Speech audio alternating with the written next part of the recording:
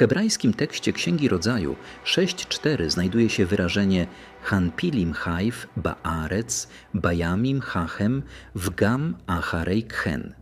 Transliteracja Hanefilim Haju Baarec Bajamim Hachem Wogam Acharei Ken co można przetłumaczyć jako Nefilim byli na ziemi w owych czasach, a także później.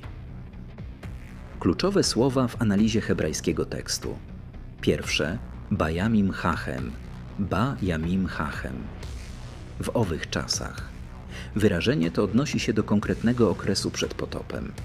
W tradycji hebrajskiej owe czasy symbolizują czas przed Bożym Sądem, kiedy ziemia była zapełniona zepsuciem moralnym.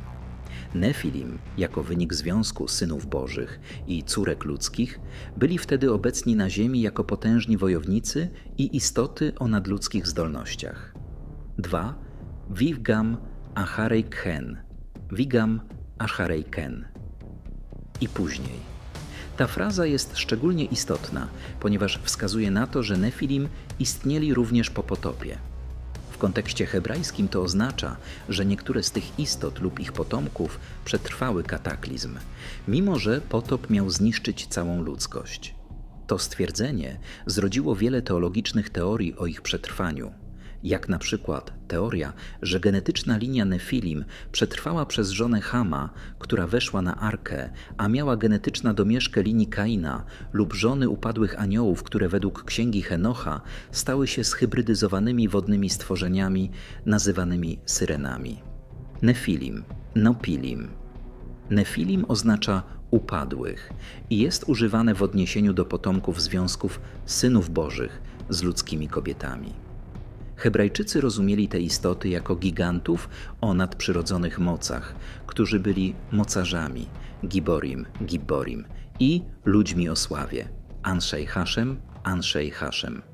Słowo nefilim pochodzi od rdzenia NPL, co oznacza upaść, więc byli rozumiani jako upadli, ale także jako istoty niezwykłe i przerażające. W owych czasach i później to wyrażenie stanowi klucz do zrozumienia, że Nefilim pojawili się nie tylko przed, ale także po potopie. Hebrajczycy rozumieli to jako kontynuację obecności tych istot, co mogło oznaczać, że niektóre z ich cech genetycznych przetrwały w ludziach, którzy ocaleli na arce, szczególnie w liniach potomków Hama. W związku z tym w późniejszych tekstach biblijnych, takich jak Księga Liczb 13:33, widzimy wzmianki o gigantach, którzy wywodzili się z tej linii. W kontekście mitów takie postacie jak Fuxi i Nuwa w Chinach, Nagowie w Indiach oraz Quetzalcoatl w Meksyku mogą być odbiciem tej samej narracji o istotach, które przetrwały wielki kataklizm i były powiązane z wodą. Ich hybrydyczna forma, połączenie człowieka z wężem lub smokiem, może sugerować, że po potopie te istoty kontynuowały swoje istnienie i miały wpływ na rozwój cywilizacji. Często przedstawiani jako nauczyciele cywilizacji, te postacie ukazuje to, jak linia Nefilim przetrwała przez genetyczne dziedzictwo, Analiza hebrajskiego tekstu Księgi Rodzaju 6.4 jasno wskazuje, że Nefilim istnieli zarówno przed potopem, jak i po nim.